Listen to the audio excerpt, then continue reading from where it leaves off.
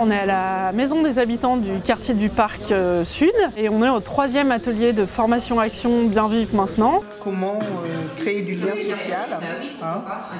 Euh, et on était parti sur le- l'existence déjà du théâtre. Que les ateliers d'éloquence, etc., c'est pas une personne avec une personne, c'est un groupe, c'est avec plusieurs personnes, etc.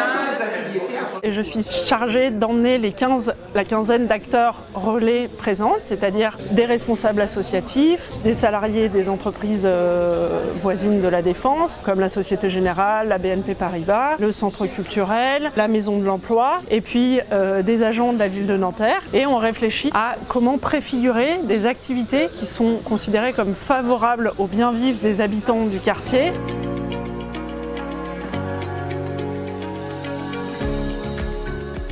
Tout simplement parce qu'on part d'un constat qu'aujourd'hui, il faut s'intéresser à la question de l'importance pour l'habitant. Qu'est-ce qui est important pour lui dans le cadre du bien vivre et de l'amélioration de son quartier?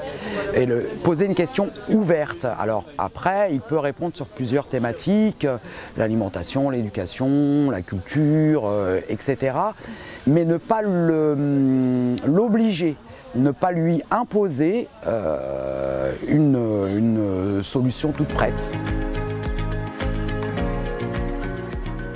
Là, dans la première phase de la mobilisation citoyenne, qui s'achèvera en novembre avec le sixième atelier et qui s'enclenchera à partir de l'année prochaine, 2000 janvier 2023, sur une deuxième phase de mobilisation qui s'adressera plus largement aux Nantériens et aux habitants du quartier, ces fameux acteurs relais qui se feront le relais de ces activités auxquelles ils ont réfléchi et qu'ils proposeront aux habitants du quartier.